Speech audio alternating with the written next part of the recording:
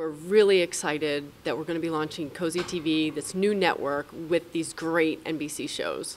As part of the launch lineup, we're going to have some iconic TV shows, including Magnum PI, Six Million Dollar Man, Bionic Woman, Marcus Welby, Charlie's Angels. Many of the shows are from the NBCU library, so we're tapping into the vast resources of NBC. We're combining the best programming of both series, movies, and original content. Um, and really, we're tapping into people's need for some time to unwind, to relax, to watch TV that's just great, easy, and familiar.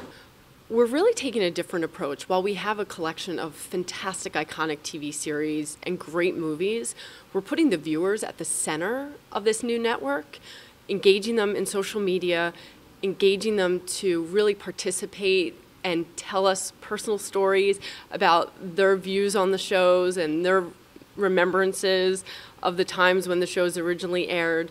So we're excited to really take a different tact here and make the viewers at the center of the network. Local stations are going to have an unprecedented number of hours that they can preempt every week, um, and that'll be an opportunity for them to air additional local newscasts. Some of our own stations are producing original newscasts for viewers. Live special events, such as our Dallas station, will run the Miss Texas pageant. It's not controversy, it's fun, relaxing, get away from it all, just sit back and enjoy the great shows.